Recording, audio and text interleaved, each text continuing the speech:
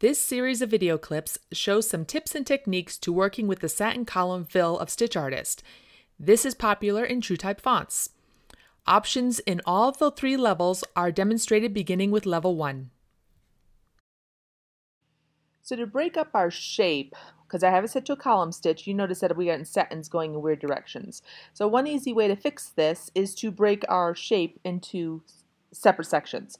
To do that, we're going to select two nodes. So I'm in create mode. I'm going to use my lasso, select my two nodes, and I'm going to right click on one of them and where it says and choose break across.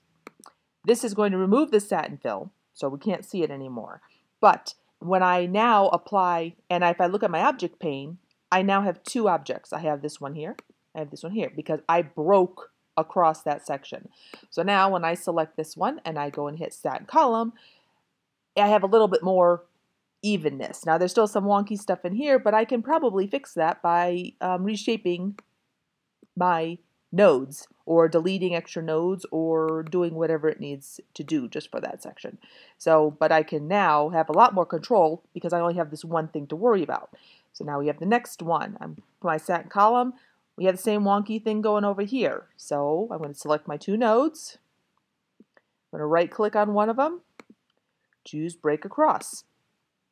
So now I look at my object list here, and when I look at it, I have this is my first column. Here's my second column on the other side. Let's apply a satin stitch to it, and it, it's okay.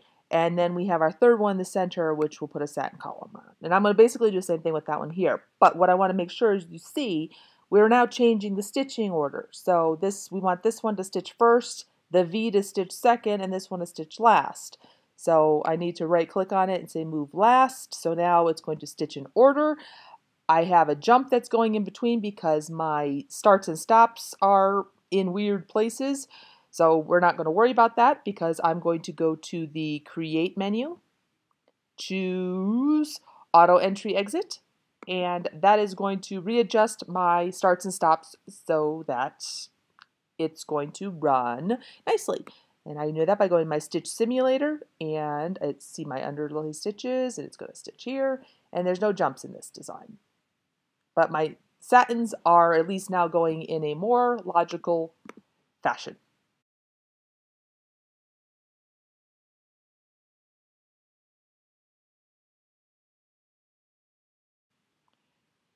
Okay, so in, in Stitch Artist level 2, we use the break the same way as we did in level 1 by selecting two points and choosing to break.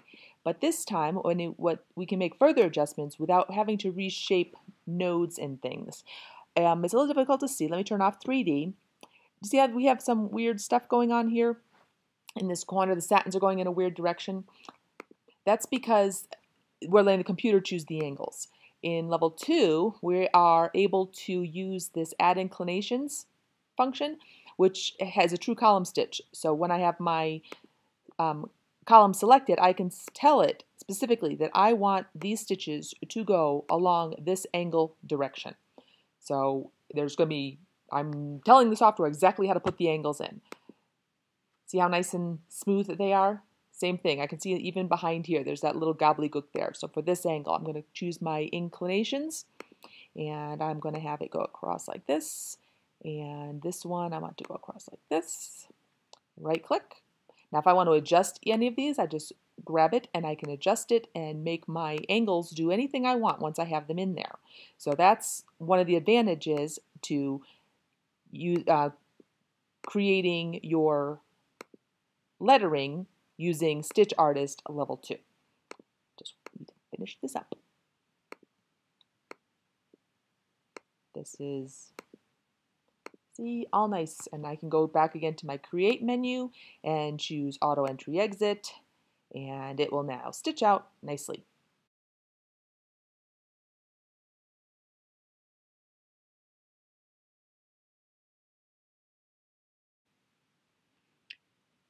So here we are with our letter M, and I'm going to show you how we use the advanced functions of Stitch Artist Level 3 on the same letter. So this gives you a lot more control. So we're in Level 3.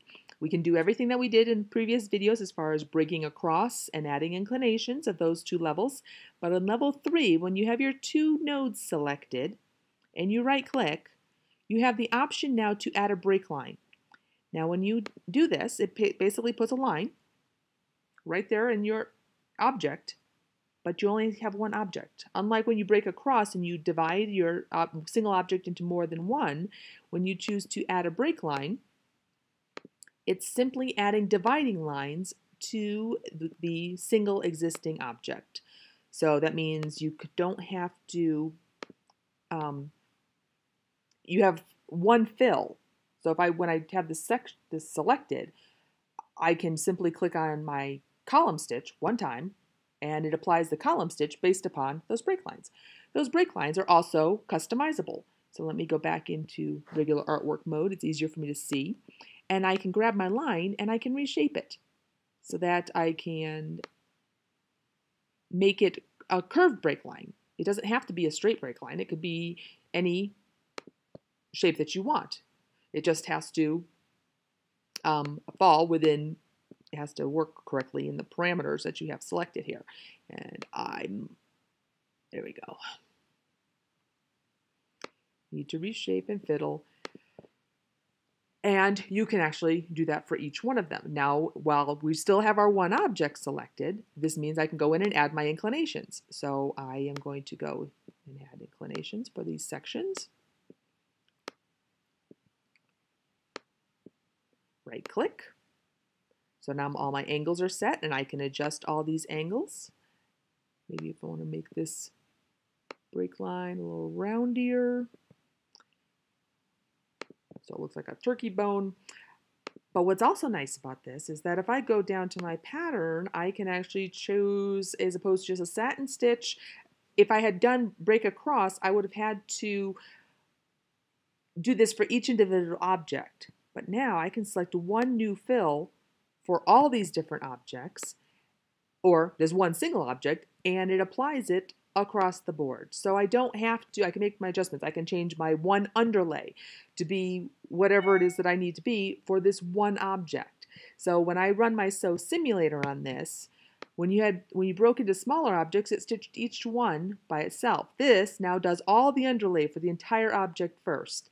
Now it does all the fill stitching, so you don't have to set your starts and stops or anything like that. This is a true lettering object that is completely customizable and able to be modified in Stitch Artist as you see fit.